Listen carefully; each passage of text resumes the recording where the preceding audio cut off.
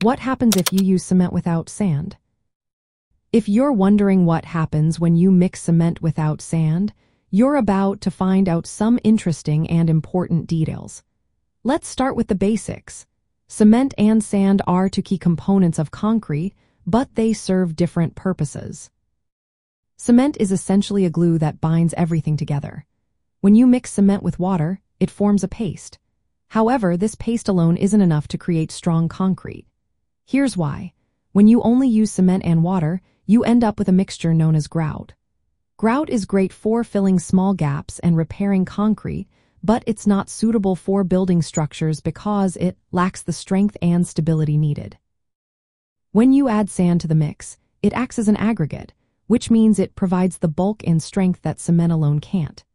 Sand fills the gaps between larger aggregates like gravel or crushed stone, creating a solid and durable structure. Without sand, the larger aggregates wouldn't stick together well because their surfaces don't meet up properly. Imagine trying to glue large rocks together with just a thin layer of cement paste, it wouldn't hold very well.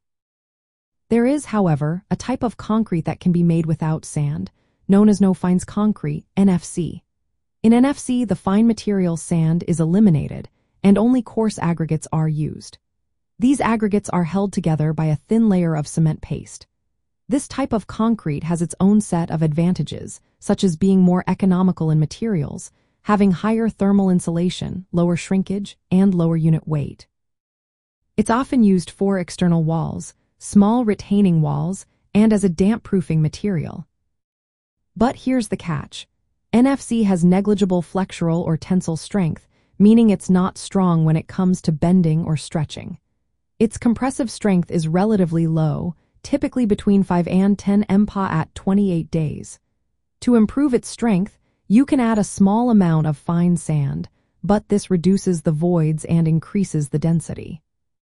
In summary, while you can mix cement without sand, the resulting mixture won't have the strength and durability needed for most construction projects.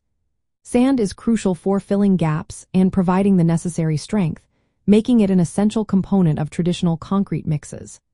However, there are specialized types of concrete like NFC that can be used in specific contexts where sand is not necessary.